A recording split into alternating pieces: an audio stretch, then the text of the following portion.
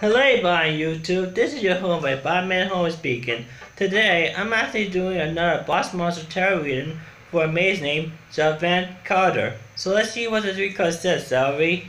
Okay, this happened to be Javan Carter. He's a mage, so let's see what the three cards says, shall we? Alright, our first card for me is the Ten of Cups. This card means that Javan Carter will, will, will, will receive happiness from his friends, family, and his adventure party. Our second card reading is the world. This card means that there's completion and wholeness and success in Javante college life. And uh, our last and, and third card for the is the Tower Reverse.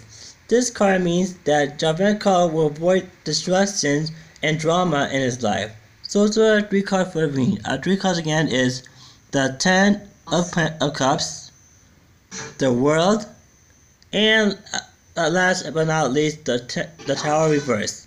So anyway, this is your homeboy. Bye, man, homer, signing out. Peace.